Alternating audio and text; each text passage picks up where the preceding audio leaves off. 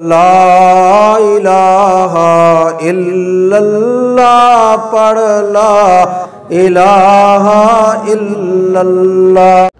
मौलाना मोहम्मद अली शाह साहब, पिपरी राजन के ये कि बहुत बड़े आलिम थे, बहुत बड़े बुज़ुर्ग थे और शिया के खिलाफ ये बहुत बड़े मुनाजिम थे।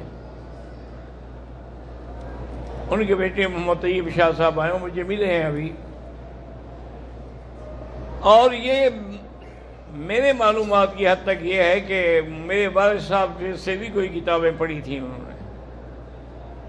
और वो खुद भी बड़े माशाल्लाह आलिम थे और बड़े बहादुर आलिम थे और शिया के खिलाफ बड़े मुनाजर थे। वालदेन की मोहब्बत की वजह से मुझे भी वो बुलाते थे। लेकिन कहते थे, बात यह है मकी साहब कि तुमने एक हफ़्ता मुझे देना है।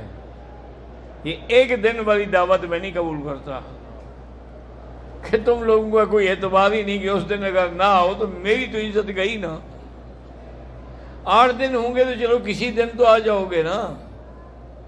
तो फिर वो आठ प्रोग्राम रखते थे एक ही इश्तिहार में कि आज यहाँ है और कल वहाँ है और परसों वहाँ है बस।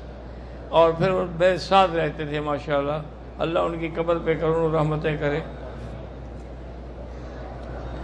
एक जगह तकलीफ़ फरमा रहे थे, मैं भी साथ बैठा हुआ था।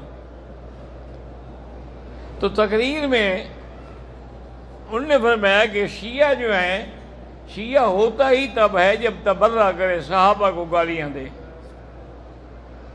वरना शिया तो ना हुआ। एक आदमी बैठा था, उसने कहा कि हज़रत, खड़ा हो गया जलसे में। मुझे जो मर्ज़ी आए, कसम दिला दे, मैं शिया हूँ, लेकिन मैंने कभी साहबा को गाली नहीं दी। आपने कहा, मजमे वालों से कहा, भाई, लोगों बात सुनो। तुमने कभी कुत्ता गुंगा देखा है?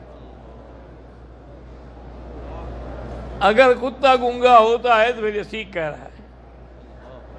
कुत्ता तो गुंगा होता ही नहीं ना। तो अब जनाब बेचारा मर्द बैठ गया आराम से। फिर उसको ज़रूरत नहीं हुई बोलने की। बड़े बहादुर आदमी थे। अल्लाह उनकी कब्र पे करोड़ों रहमतें फरमाए। हमारे साथ तो उनको बहुत औलाद की तरह प्यार था ना जी।